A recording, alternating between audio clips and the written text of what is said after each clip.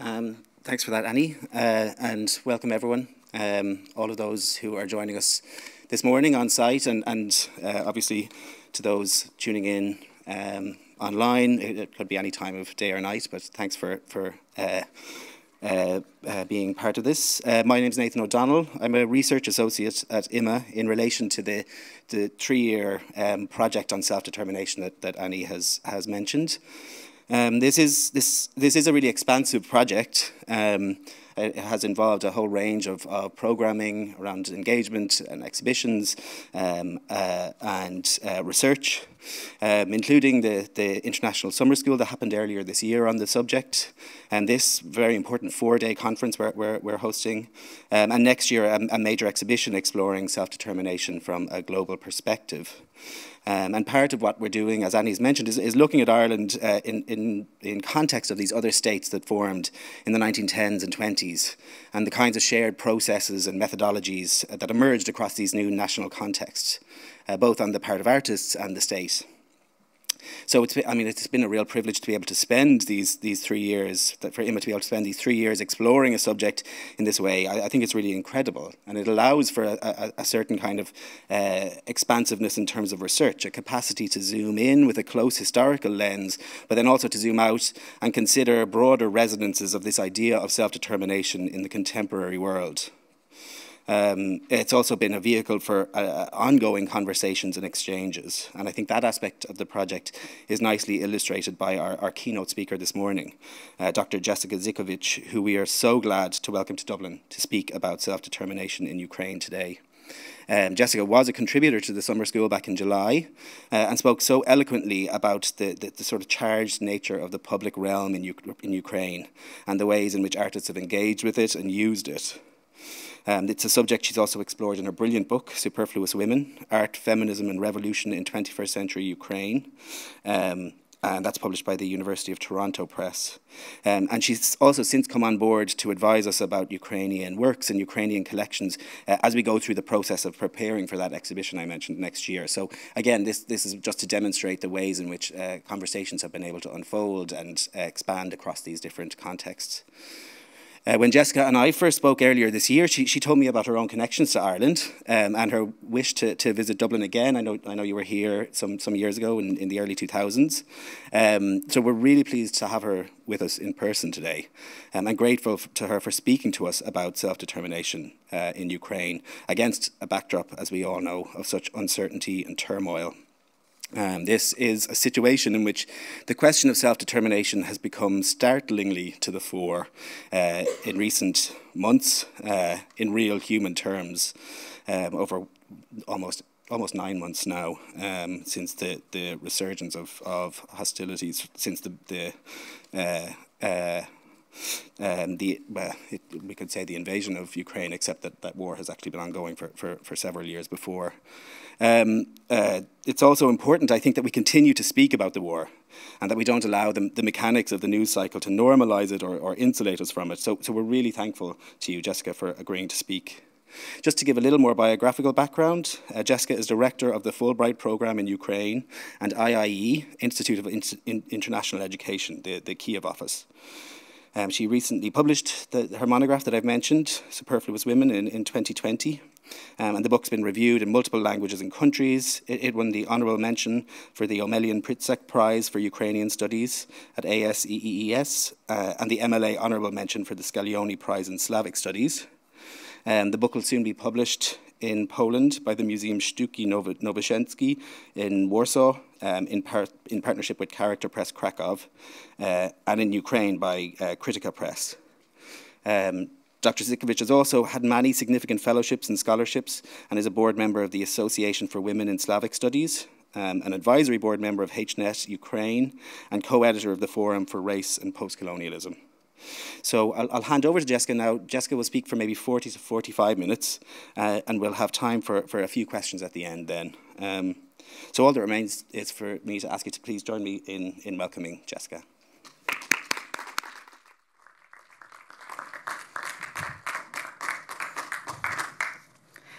Thank you for that warm introduction, and thank you everyone for joining today. Um, it is really an honor and a privilege to be here. Um, I have a PowerPoint, and you can see my title is a little more descriptive here. It is From the Woman Question to the Ukraine Question A View of Revolution and War in the 21st Century. And of course, they use the women question and the Ukraine question a little bit tongue in cheek. Um, and I know after uh, this presentation, there will be a discussion of Algeria as well. And the Algerian question was one of the reasons James Baldwin said when he was in Paris that he would return back to America to visit and to be a part of the revolution, um, the beginnings of the civil rights movement that were taking place in the US. If we can go to the next slide, that would be great. Right. Oh, great. Okay. Well, before we go to that one, this is the cover of my book, which also uses a tongue in cheek title, Superfluous Women, which I explain a bit more in the introduction of my book in reference to the superfluous man, which was a literary archetype from the late 19th century. Um, but largely, this is in reference to women activists, feminists, in the years between Ukraine's two recent revolutions the Orange Revolution of 2004 and Maidan Revolution of Dignity 2013 2014, who large, by and large, were viewed as irrelevant to society with the demands they were making. Um, and then now, still, oftentimes encounter um, ideas that feminism or women's rights are not important during a time of war, that these are secondary to society or even decorative. Uh, this book traces a generation um, at the time that I was very much engaged with as a participant observer, regularly uh, living, traveling, working in Ukraine, also in Poland nearby, and trying my best to witness and document um, the struggles for emancipation among women. Um, what is important and what more of my focus today will be on is the hindsight that, that has been gained now in the 21st century, looking back on the 20th century, and the connections that activists today, women, are making to the time of the 20s and to World War I in Kiev, but also globally. So um, Nathan had mentioned my connection um, to Ireland, and my connection, I suppose, is a transatlantic one and an identification with the early women's movements that I have spent uh, over half my life um, researching and investigating my gra- grandmothers and great grandmothers were from Ireland and Poland and Ukraine and went to New York and worked in the textiles, in the textile industries in the Lower East Side. Um, today, one might call them sweatshops. and child labor was also a major issue at that moment. There was no labor code in the United States.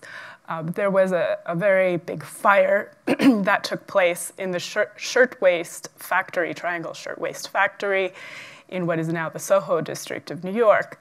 And the women factory workers there um, joined together in protest and also started to communicate with major figures of suffragism in Germany and in former um, Tsarist lands uh, that were then going through the Bolshevik Revolution because women, women in America had not gained the right to vote, and also they, they were being um, subjected to, to very dangerous labor conditions.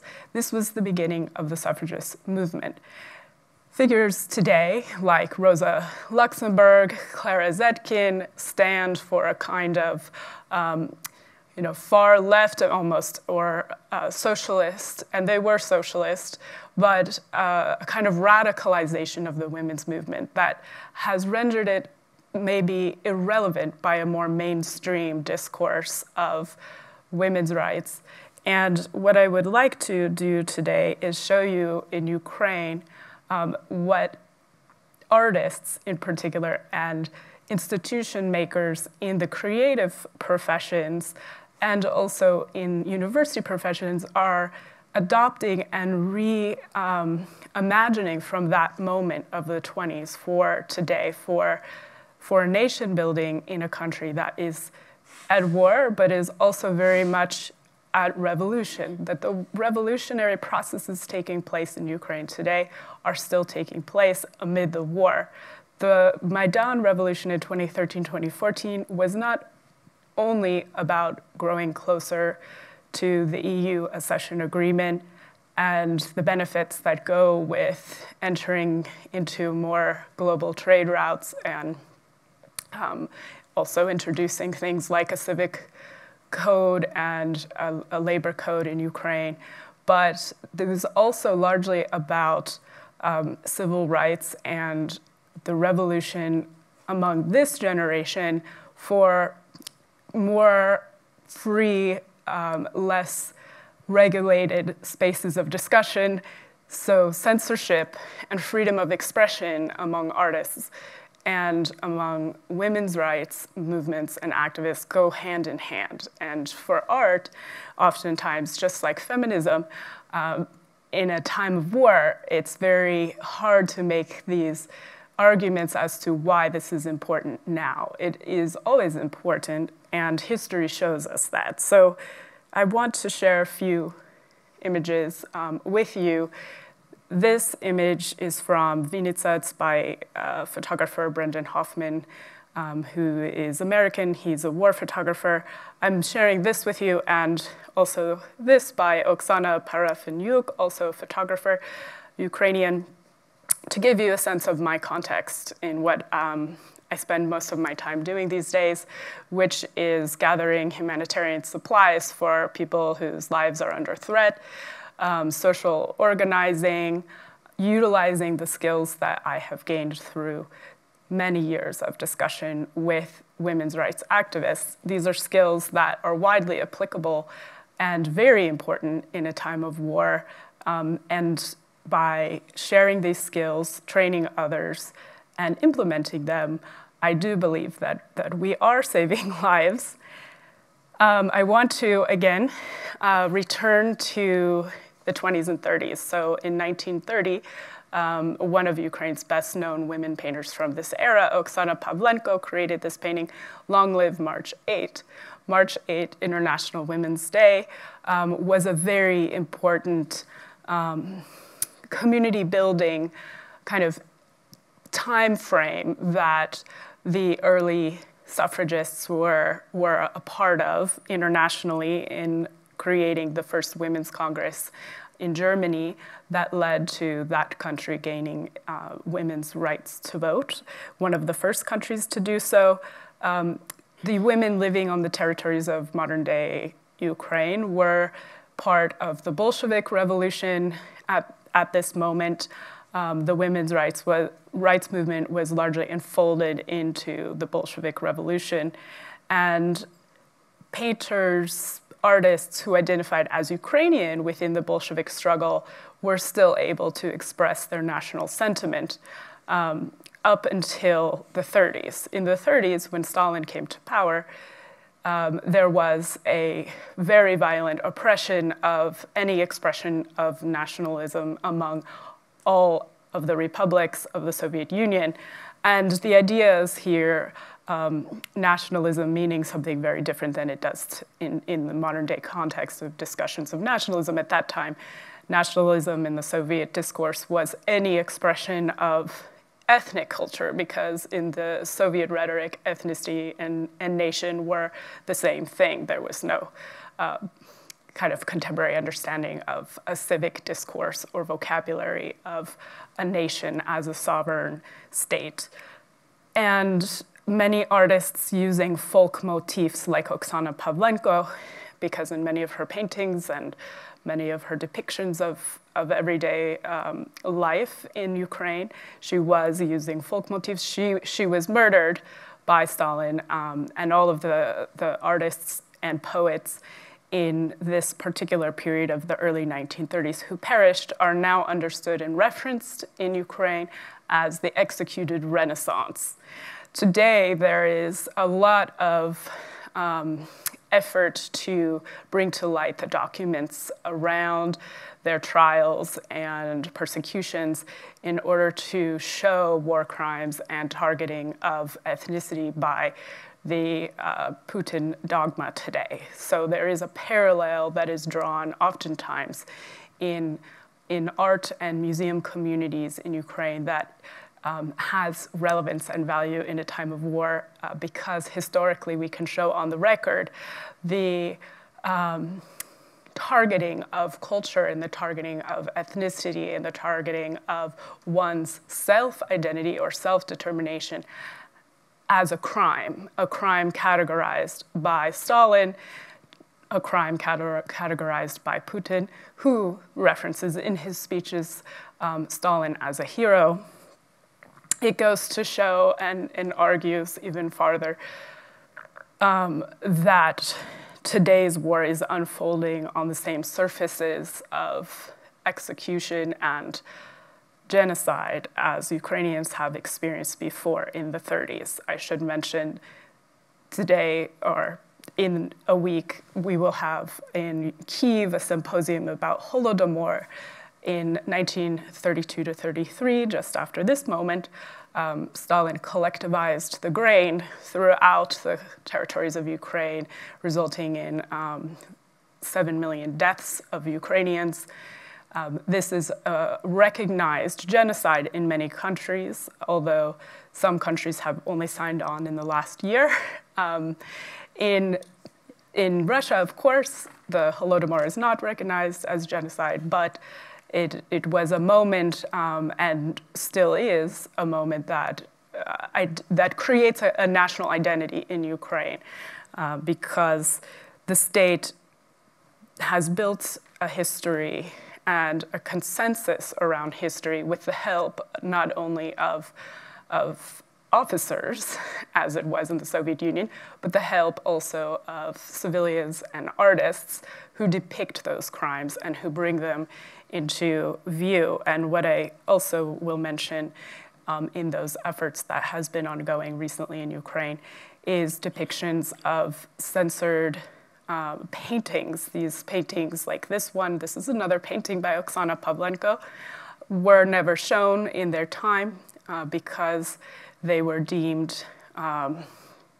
they were deemed to be subversive and and not compliant with cultural policy under the Soviets, under Stalinism and they have been kept, uh, thousands of paintings like this, in spetsfonds, special depositories in museums that were sealed um, during the Soviet era and never opened. After the revolution in 2013 2014, these, these spetsfonds became available for the first time to public researchers. You, anyone can go to Ukraine um, and with some assistance and uh, documentation, you can access these fonds and view the censored paintings. Some of them have been put on, on display in curated exhibitions to educate audiences about the destruction of culture as a destruction of people in the 30s.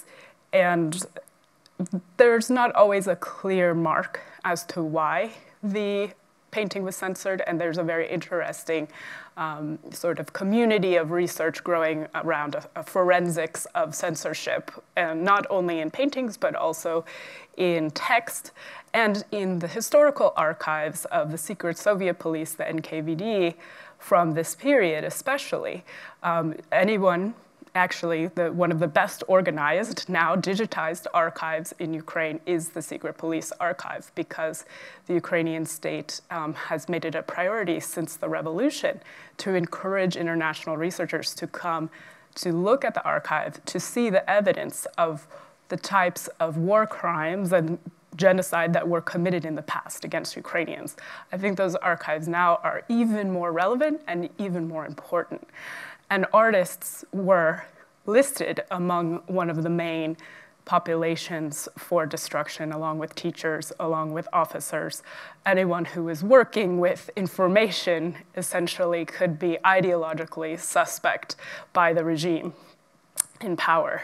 So let us go back again to the women's movement. If the women's movement was enfolded into the Bolshevik one and the Soviet um, policies later developed around women and women's rights, um, meaning women had the right to vote, um, wouldn't we think it was more liberal and open than the US, where women did not gain the right to vote until 1920, later, three years later than in, in Ukraine? Um, well, not necessarily, because, of course, just like today, uh, the woman question and the Ukraine question also are tools of ideology in different myth making and imaginaries around who the people are. Uh, are people self determining, we the people, or are people determined by their governments? These are really, I think, um, the, the seeds of, of revolution as an ongoing um, embodied practice, not one that ends. For a revolution to be effective, it has to never end. Uh, the Soviets had obviously the eternal revolution written in stone um, and codified, but the women's rights movement, I think, and developing a civic language early on at this time Um, we might even look at it as a prototypic language for today, can be useful for understanding where revolutions, as soon as they become official by the state, can overdetermine, overdetermine identity. That still there has to be space for women and, and artists to push back against where they feel they have been overdetermined or censored or not able to fully um, embody their experience. And in, in looking back at this moment right now in Ukraine, it's been very important, and there has been organizing around this in Russia too recently among women. There was an article um, published in Le Monde just uh, last week about it, but there are active references to the anti war movement that began in 1915. This was international, and it um, began with the establishment of the International Committee uh, for Women's Suffragism, and this was entered into the Women's Committee at The Hague. And only a few years later, so that was 1915, in 1919, there was establishment of the International Congress uh, for permanent peace and freedom at the UN. And this Congress still exists today. It was created in 1990 at the end of World War I and should be renewed as also having its roots in the women's movement. It's important to think about the last five years and 20 years in the buildup to the all out invasion of the war in Ukraine. There have been um, ongoing battles in Lysychansk, in Donetsk, in um, all of Luhansk and Donetsk Oblast, and Crimea has been occupied since 2014. The war has been ongoing, and the you know response to that in Ukraine, in the rest of Ukraine, has been um, to try as much as possible to get the West's attention to look at what is going on. And it's important to, to also know that parallel to the war happening since 2014, the revolution has been happening. In Kiev, I've been going to the uh, pride marches and the women's marches since 2012. And this photo, I think, captures very well um, the, the role of information and disinformation around these marches. You can see a drone um, carrying the, the rainbow flag over the other side of the barricades where the opposition to the march was standing. And it was very clear that if those barricades were not 10 feet high fences, there could be serious um, instances of violence happening here. And there have been in the earlier years of the march, but now the police, the city police, partake in protecting the march, largely um, encouraged to do so by the fact many foreign dignitaries from foreign embassies have joined the protesters or the LGBT Pride March themselves in unofficial capacities, but the police know they're there, so they're even more pressured to uh, protect the marchers. And here's another image of the National Motherland Monument edited um, for visual circulation by a drone carrying the flag. This was from the 2020 march, which didn't take place in person because of the pandemic. And this um, photo went viral and became a meme for Ukraine because this Soviet era monument, which is exactly nine meters taller than the St Statue of Liberty and faces New York, is the kind of superego the Soviet one, of the women's suffragists in the, in the US. Um, right now, the director of this museum, this is the, underneath her is the World War II Museum. Uh, there are 40,000 artifacts from World War II kept there, and the director, Yuri Savchuk, is a Fulbright alum. Uh, we communicate often. He's working on reimagining the narrative around this monument. And he's also um, interested in working with contemporary artists inside of his museum to rework the Soviet ideology that is, is represented both in the artifacts themselves, but in their display, which was last, I think, curated in 1970 in their permanent collection. But what is also relevant here for artists in the last um, 10 years, especially since the war started in Lysychansk, Luhansk, uh, and Donetsk, is the monument, the monument itself. Um, Ukrainian artists have, I'm going to go forward here through the march photos. You can see some of the artifacts from my participation in the march. Here, Lesya Ukrainka, the national poet, is from the 19th century, who is rumored to be also um, a lesbian in a relationship with Olha Kobylyanska from the 19th century, another poet. Um, she's here and she features very widely as a symbol of Ukrainian uh, feminism and, and Ukrainian movements for women's rights. But I want to show you the monuments. So today, monuments are covered with sandbags to protect them from, from missile strikes. But not all of the monuments are deemed valuable. Um, some Soviet era monuments have been destroyed arbitrarily um, since the revolution.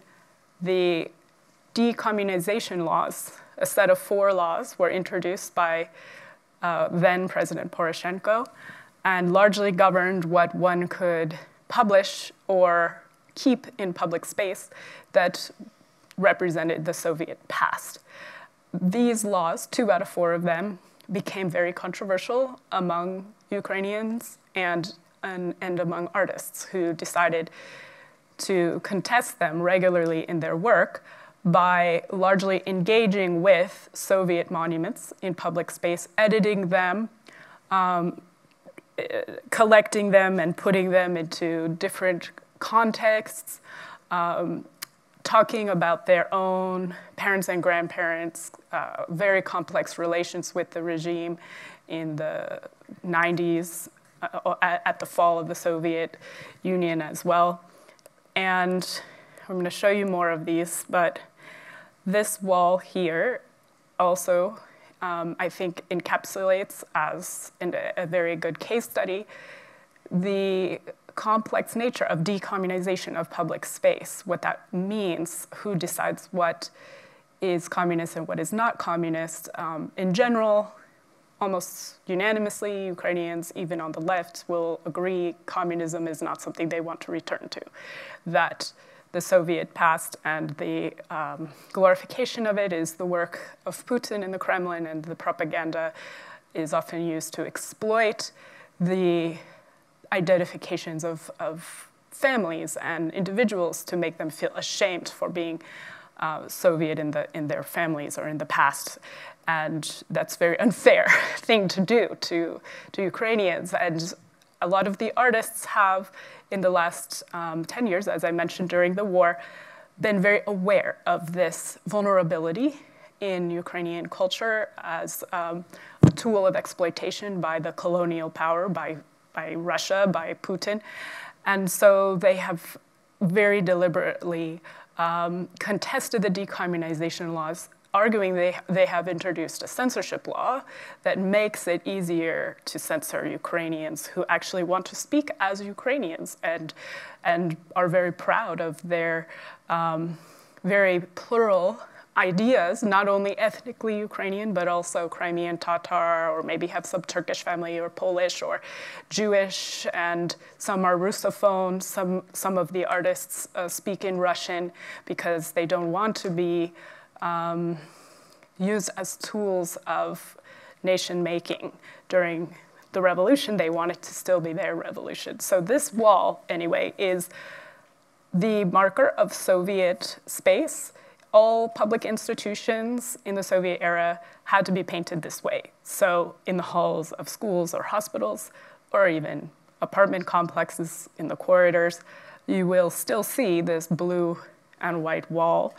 And the um, exhibition called Ukrainian Body um, included a piece called Feminist Workshop, in which Vova Vorotnyov, a graffiti artist, collaborated with a photographer who I have a, a, very extensive chapter in my book about, Yevgenia Belarusets. In A Space of One's Own, also they've they revisited this exhibit from 2012 in 2019 in a larger exhibit in Kiev named after Virginia Woolf. Uh, they're, they're really working with this wall um, by using different uh, or alternative non-bi non-binary just non-binary gender identifications in self-portraits in front of the wall. So here we have uh, artist and feminist and also curator and good friend of mine, Oksana Briukhovetska, wearing a dress, carrying a bottle of wine, um, identifying herself as, as a woman, um, and Anatoly Bielov, who is also an artist and has done quite a lot for opening up queer art in, in Ukraine. Um, he's very well known as, as a uh, painter and sketch artist. He wears a dress and happens to be wearing a Superman t-shirt. I don't know why. Um, but this is, this is also featured this wall in, let's see, several other works. Here you can see it in the background of a textiles factory. Um, I mentioned textiles factories in New York earlier. Um, it's not a coincidence. A lot of the people working in those factories came from Eastern Europe where they were, you know, exporting textiles and still export textiles. And in Ukraine, you have um, a lot of exploited labor in, in the textiles labor and supply and demand chain this has been documented by the photographer Evgenia Belarusets Here you see this blue wall again, and she was the same photographer who, who did the exhibit with Vova Vorotnyov I just showed you with the blue wall. This is also hers from 2012. So it carries through and also has reached film. This was the Academy Award nominated film, The Tribe, Plemya, by Myroslav Slaboshpytskyi, and he's doing something similar here as Yevgenia in front of the blue wall showing an act of abortion, completely taboo in many, many countries and many spaces. And also, again, very tied in with um, issues important to women that are always on the platform of debates in feminism in Ukraine today. As a footnote, abortion remains legal in Ukraine. Um, it's not in Poland. A lot of nearby women go to Ukraine um, for, have been going there for abortions for many decades. It's a huge area of discussion.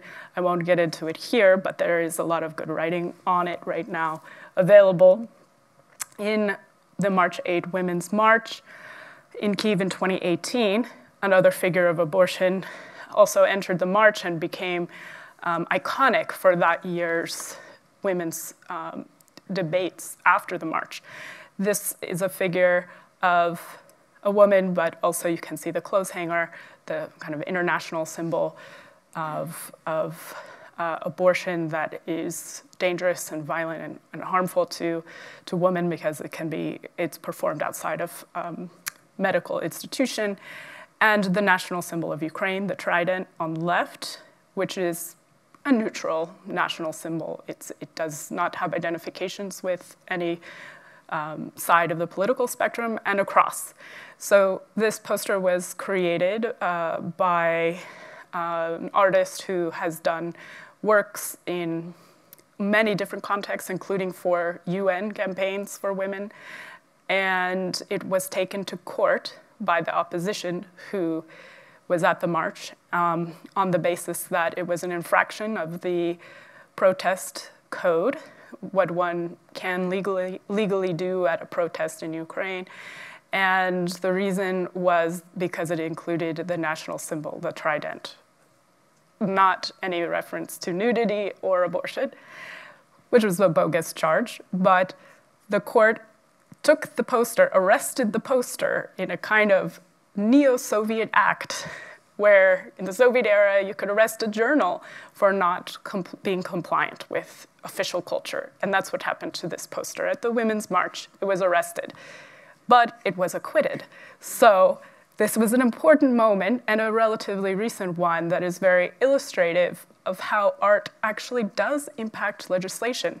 Because after this part, after this march, um, a newer space opened in protest where you could get away with a little bit more and be more expressive and self determining in your discussions, and certainly could discuss abortion because had this poster been um, taken to, to jail and sentenced, maybe the outcome would be different.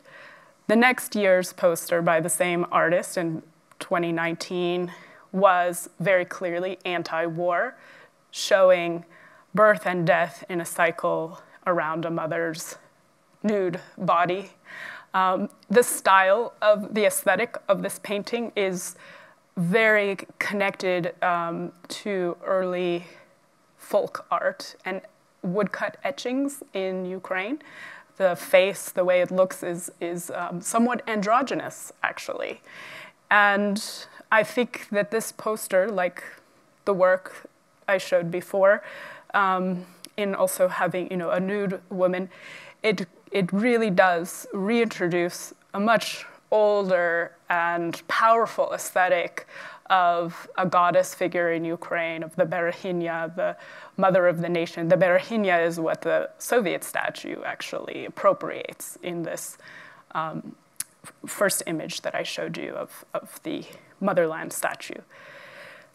So this appropriation of the Soviet past and the reworking of it is, is a quite powerful aesthetic experiment that has been ongoing and um, during the earlier periods of the war, many artists were, were making um, trips to Lysychansk right on the front line, and that's where this Soviet, Soviet monument to World War II Red Army soldiers is based. Um, I took this photo. I went with a group of about 10 uh, artists and curators to Lysychansk um, in 2019. The war was happening about 20 kilometers away.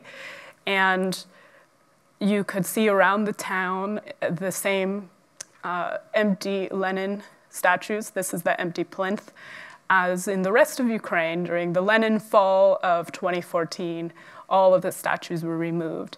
And a lot of artists, again, as I showed you, the blue wall, they have used these plinths as a trope in their work. And, and if you, somebody could write a whole book and, and, maybe should about the Lenin plinths because in Ukraine they, they really have become a grammar for post-revolution and, and getting away from the Soviet past, but not doing so by simply erasing the present and allowing a kind of false blank slate, which is very vulnerable and actually just recycles the acts that the Soviets were doing of erasure and blank slate. So this is a, is a canvas, and here are some locals just having a beer on a summer day. It was a, a lovely town. Um, many people just living their lives as though the war was not taking place right next door.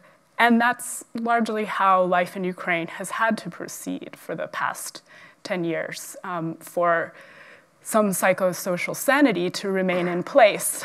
Everyday life and small joys like beer on a summer day still have to, have to take place.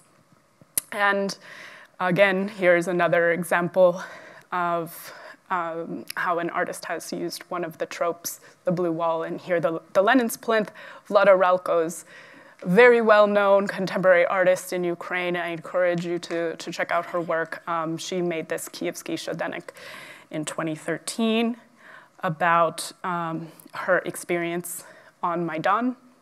And what's interesting in this Kievsky Shodenik, which means Kiev Journal, there are about 150 watercolor paintings and sketches there, and they blend war and revolution as was the case in World War I. And this was a very early moment in which she was creating um, this journal and the images that she used, a lot of them, a lot of them were also um, very informed by her time she spends on the Dnieper River in the birthplace of Taras Shevchenko, who is the national poet of Ukraine um, from the late 19th century. He was essentially a contemporary of Pushkin in Russia. They, they knew of each other and communicated once in a while, but they were not, not friends necessarily. Shevchenko himself, um, being a writer, he was also an artist, actually was an artist first. He was a serf and he was um, bought out of slavery and given his freedom based on the quality of his drawings. And then he became a writer because he became literate after being emancipated in the, in the great emancipation of serfdom in um, 1863. So for Ukraine, um, to have a national poet who was a serf in the Russian Empire is also quite um, telling of, of today's struggle for constant struggle for emancipation and self-identification and sovereignty. And here I have also once again another trope for the generation today engaging with the Soviet past and moving beyond the, that older language of revolution, which became actually colonial, and now ushering in a new revolution um, of dignity. And here there is a collection of Soviet uh, neoclassical sculptures from the region of Lysychansk, Luhansk, and uh, these are um, activists from Izolyatsia Cultural Platform, which is based in Kiev now, but used to be based in Donetsk. They relocated in 2014. Their old site in Donetsk has been turned into a prison.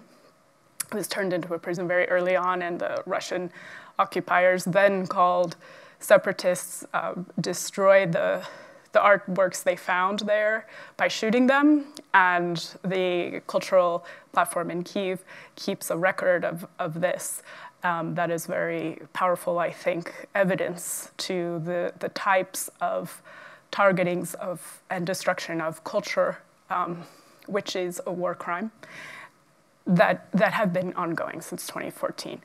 And you can see a lot of the sculptures here actually from the Soviet era were made by Ukrainian artists who suffered under the regime, and, and not only um, those who suffered or pushed the line of official culture in ways that, that were dangerous for them, but also contributed to global aesthetics. Um, I'm also thinking of the filmmaker uh, Dovzhenko, who's, who was very much an official artist, but his, his films have been so, you know, uh, I think groundbreaking in the editing and the mass scale. So there, there's not a total erasure just because something was created in the Soviet era. And this is why artists feel, I think, in Ukraine um, and curators, and I speak as someone who works also as a curator, not only a scholar, um, that saving these artworks is also really valuable and not always should be left to the officers or the military on either side to determine what's valuable. You know, taste and aesthetics are so um, subjective in, in, in how to measure. So to give all of that power to the state only to make official choices on what can be kept and what can should be destroyed um, is happening, and it's happening in rapid pace during a war. So there have been more efforts, like by the museum director of World War II Museum, to work with other museums in Europe, and also UNESCO and international bodies to make it a global discussion, not one that is um, only internal to Ukraine, but that involves um, experts who can help determine what to do with these with these you know pieces of cultural heritage and make the story meaningful and relevant for the revolution today which so many are saying now i think more than before is a global one. Here we have um, you know anti-tank uh, weapon from the soviet era and the curators in this local museum um, put folk paintings from early Ukrainian, Western Ukrainian uh, depictions of nature and the Cossacks. And here, you know, it's just, it's, I think, a very profound artifact because it illustrates, you know, the prior revolution and the, and the also World War II experience of the Red Army that many Ukrainians also still are conflicted about because some of their, many of their grandparents were part of the Red Army or um, they lost members of their families to that war. So it's, a, I think, a very sort of um, ambiguous and powerful display. It's also anti-war to put art on a on a defensive weapon or a weapon. It, it can open up a, a Pandora's box of close readings. And instead of doing all those close readings myself in my in my daily work, um, I, I, have a great privilege of being proximate to many artists and curators in Ukraine and communicating with them and, and also scholars um, every day. And so I created an exhibit earlier this year, which is in Michigan right now at University of Michigan, that features about 10 women's women artists from Ukraine writing or speaking or painting about the war. Um, I can only hope that exhibits like this will grow and more artists will receive um, opportunities to engage. And I also look forward to being part of engaging this community here in future in whatever capacities I can. But I know I'm running short on time, um, so I will just show you a few last slides um, because these are great artifacts. This is by Mykola Ridnyi, a filmmaker whose grandfather was in the anarchist army in 1918, 1920 in uh, the territories of Kiev and Kharkiv. And that's also very interesting because I invited him to speak in one of my courses I was teaching in Kiev to my students. And he spoke about this film, which, and also Gray Horses, which is largely about his grandfather. And the students were fascinated. They were asking lots of questions. Um, but one question that kept, kept coming up was how women were treated even within the anarchist army in Ukraine and within the left, um, because there were lots of cases of rape in that context of war, not a big surprise. Um, but the same thing is happening today. And I think for the students, this was this was just a very powerful and rare opportunity for them to, to discuss the, the topic. And I was going to share with you some just last images of eyes and seeing and vision and how all of these, these are also Vlada Ralko's images you can see here. Um, these are Taras Shevchenko, his uh, drawings. Remember, he's the national poet from the 19th century who informs Vlada Ralko's work quite a bit. Here you can see her work again. I will just end on this image from Taras Shevchenko. Um, he has a lot of figures in his sketches that are floating.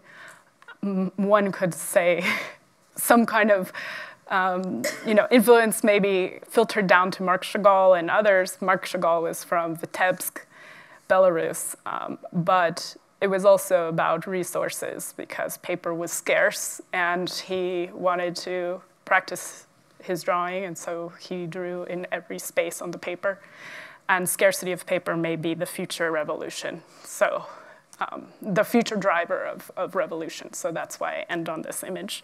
But I wanted to just save um, 10 minutes or so for questions. And I plan to also be here for the next couple of days so we can chat further as well. And also my email address is openly available. So I look forward to hearing from all of you.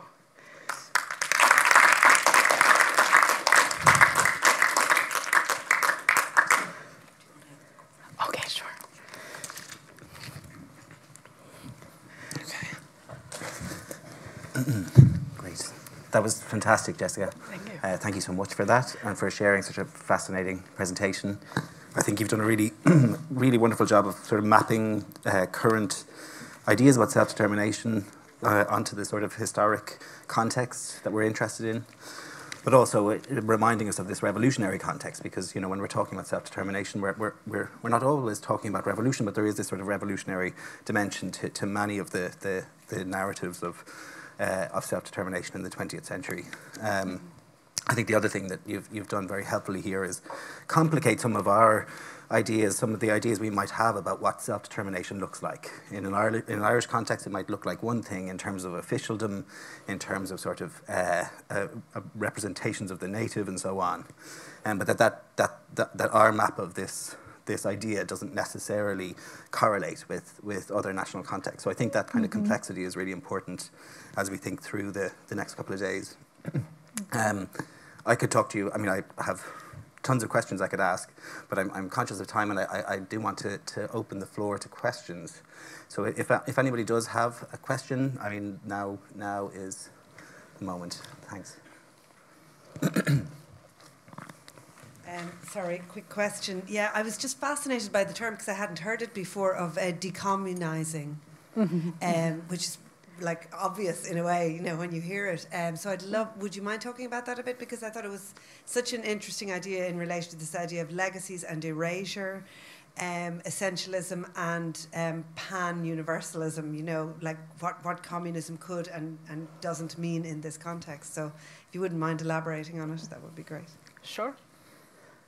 So in the official definition, the decommunization laws that were entered into parliament in Ukraine and passed in 2014, 2015, um, had four parts. And one was um, the inability to criticize any hero from World War II including the Ukrainian partisan army heroes, and that includes a very divisive figure, Stepan Bandera, um, who is uh, also divisive for the diaspora, for Ukrainians living abroad. Um, and then the other parts of the law included um, the inability or the removal of monuments or changing of public space, and then the other two were about transparency to archives access to information um, and also regulation and transparency in institutions. And those were not controversial. But the, the out, actually the outlawing of any hero during World War II um, is also a point of de debate that um, at the same time was entering into Polish politics because a similar law was put on the table there and it did not pass um, because the letters of um, open letters against it from scholars around the world were effective and also Yad Vashem in Israel was effective there because the um, inability to, to criticize heroes includes those who did collaborate during World War II. And Stepan Bandera and the partisan army is largely known, actually, for, for working with Nazi occupiers in Western Ukraine, but it's a very uh, thorny path that Ukraine is, is still just embarking on and will have to deal with, especially in uh, memorial sites like the Babin Yar um, site of, it's a mass grave just north of Kiev where uh, many, not only Jews, but also Roma and others were destroyed. And a lot of Ukrainians um, were not happy with those ideas of decommunization because they were passed unilaterally without any vote by the post revolution government led by Poroshenko. And since that time, um, have, have become, I think, since the war certainly, have become recognized maybe as part of a vulnerability that Putin can exploit more easily because to, who determines who's a hero, who's not a hero? If you're just not even opening the door to public debate, you, you allow even more vulnerability. So in, in decommunization, um, I guess it's, it's really a top-down definition in that sense. That word is, is a very official one and, and not liked so much in that sense. Yeah. There's a question here. Oh, thanks. Thank you. Um, thank you. That was really, really fascinating. Um, I had a question. I was really interested to see um, a re engagement with, with art from the pre Stalinist period. Uh, and I had a question about how intellectuals and artists in contemporary Ukraine engaged with that period prior to Stalin um, of Bolshevik rule and, and how they grapple with the kind of balancing, you know, some of these anti anti Soviet or anti um, Russian um, sentiments, particularly connected to the current invasion, with the kind of cultural promise and political promise that that early project represented, at least in theory, um, for Ukrainian minority groups or for women in Ukraine. Thank you. Thank you. Yes. Um, recently, in the last five years, there have been some key exhibits particular to th this group um, that I showed you with Oksana Pavlenko. They are known as the Boychukisti, named after Boychuk, the, the main leader of that group. And these have been very supported by the state and by others, but it, it took a lot to get to that point. And I think now there has been more kind of widespread um, acceptance in, in Ukraine's Ministry of Culture and also Foreign Ministry, which created Ukrainian Institute, which is their cultural diplomacy arm, um, because there's been foreign demand for understanding the early avant-garde. And why has there been foreign demand? Because the avant-garde, like modernism, proclaimed itself to be universal and was spreading ideas all around the world and artifacts and visits. Um, so the, the ideas are already abroad, and now that there's renewed interest in Ukraine, people want to know about that connection. So there has been an opening up that, that I think has been largely propelled by globalism and the globalization of Ukraine's early avant-garde.